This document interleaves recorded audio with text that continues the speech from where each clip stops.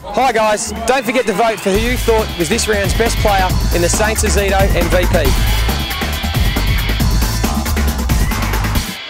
Joey, a fantastic victory. What are the what are your overriding emotions after the game? Uh, for me, it's a sense of being proud. I'm, I feel like a proud old papa with the uh, the young boys' efforts. Look, yeah, really proud. Just um, proud of everyone's endeavour. And you know, after the first quarter, we, we were in the game, but obviously the scoreboard wasn't in our favour.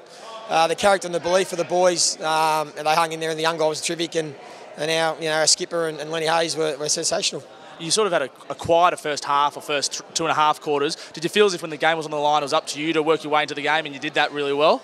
Oh, not specifically that I had to work my way in the game, but just had to continue to dig in. You know, it was always going to go down the wire. Um, and we needed to continue to fight, and, that, and, that's part of my responsibility as a leader is just to, to, not give up and hang in there. But I didn't think I needed to do anything special, but just keep working away, and you know, and sort of worked in my favour a little bit more in the second half. That's Jack Billings' first full AFL game tonight. Uh, what did you make of his performance? Uh, he was exciting, wasn't he? He's, um, he sort of reminds me of a mini Schneids. He's a bit of a Schneids clone, just a lot of class, and gets on his bike, can find some space, and, and work really well. And um, yeah, we'll keep on top of him, make sure that he continues to work hard and do all that. But um, no, we enjoyed tonight. He was terrific six day break. Any chance of you boys going to get ahead of, yourself or not? No, no, no, certainly not. No, no, we know where we're at, and um, we just touched on it in the, in the rooms that it's a bit of a different expectation this week. You know, we'll, we'll be the favourites and expected to win, so it's another challenge.